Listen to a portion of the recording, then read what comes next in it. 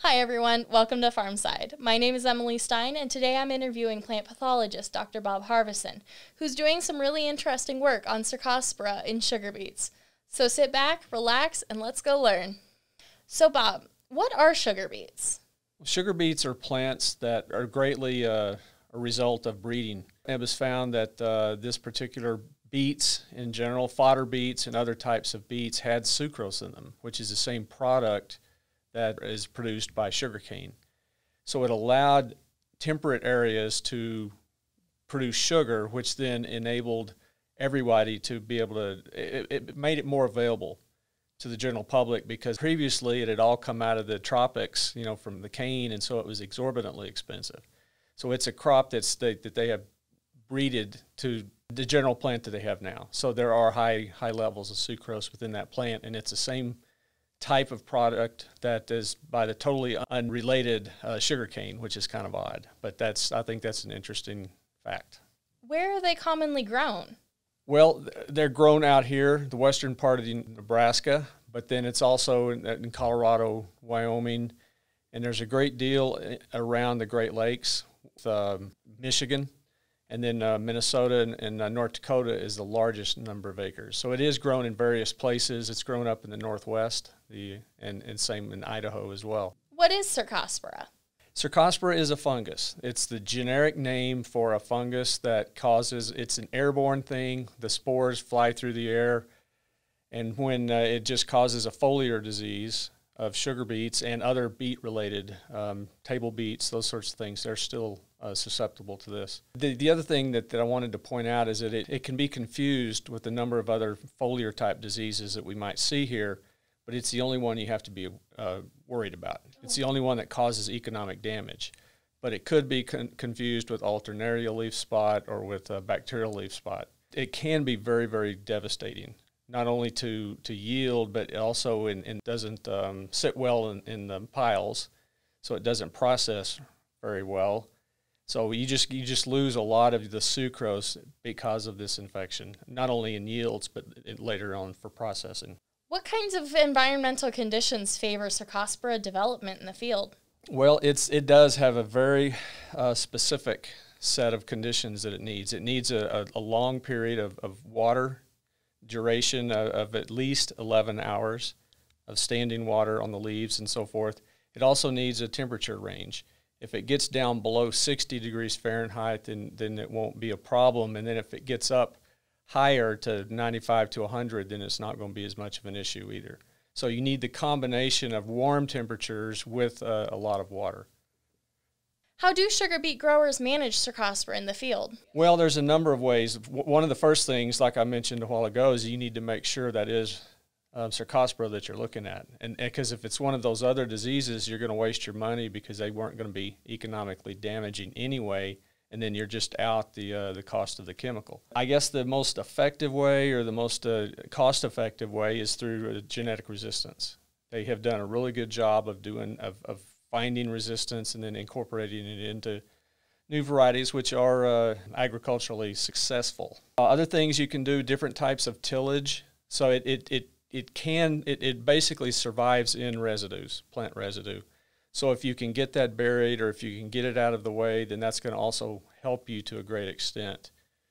Uh, it's it's going to remove that source of inoculum. It doesn't move a great deal, but it can move through wind patterns. So what the idea is to not if, if you've had a field that had a se- severe amount of disease, then don't put another crop the next year within hundred um, yards of that.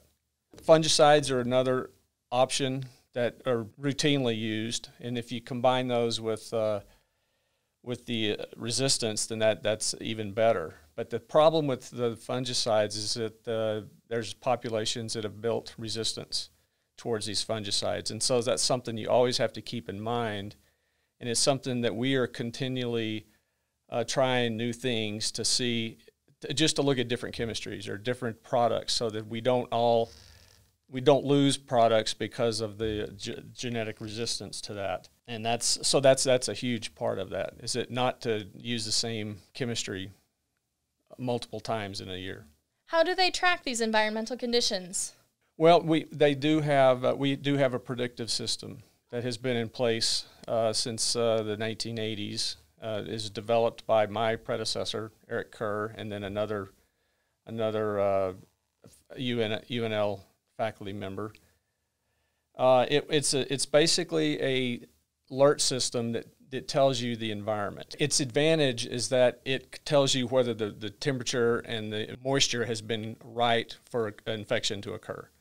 So it doesn't tell you that the pathogen is present. It just says, hey, it's a monitor. You take it and put it in the fields, and then each day you go and take a look at it. And the that it gives you a numerical value of zero to 14, which is a formula, and it's based on a hourly time for, for, for the temperatures, I guess. And then it spits out a number to you through a formula of 0 to 14. And so you take that number, that's the, the daily value for disease um, for that particular day.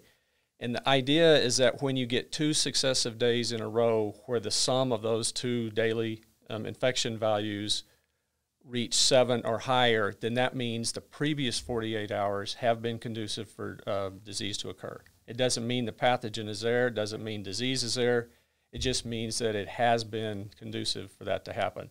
So it makes you have to get out and go check and see if there's any any of those types of things. Um, if you see something there, so when you do see something and it is building up into the upper part of the canopy, then that's probably a good idea. If if that system told you that it's time to pull the trigger on it, then you need to you need to have uh, be prepared to do that. How has this alert system improved over time? Well, I don't know if we've improved it, but it's working with Shin. It was his idea to take this this system. He's not changing the system, but he's be, he's made a, uh, a device that allows people to access that information remotely and not having to go out into the field to pick it up. So that's the key to that thing. Another thing that we are looking at this year for the first time is that it's it's essentially a spore catcher. And so we put that out there with the the monitor for the for the environmental stuff, and so it should tell us are the spores present of the pathogen. And so you combine that together with the environment, then that would I think be a, a more effective way of determining whether you need to spray or not. Because again, spraying in, indiscriminately is not a good idea there are chemicals that are available that we can use if things come to that uh, situation. Does the kind of fungicide a producer use matter? Um, what I've found in the past is that the fungicides that you use are not as critical as the uh, using them at all. So if, if you don't do it and you have big problems, then that's worse than than using the wrong product, I guess. But but so that that is a critical thing.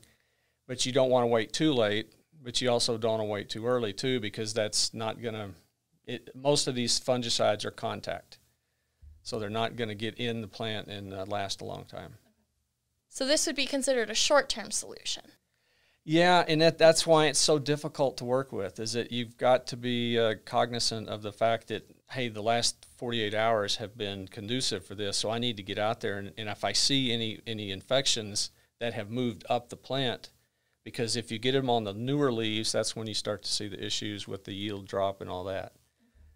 Well, folks, there you have it.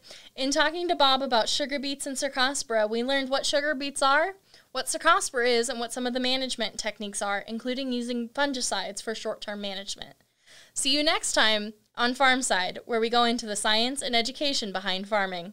Be sure to subscribe and follow us for more science and education behind farming. Comment below if you have any questions about cercospora and sugar beets, and we'll be sure to answer it in an upcoming episode. Until then, subscribe to our channel, like this video, and be sure to follow us on our social media.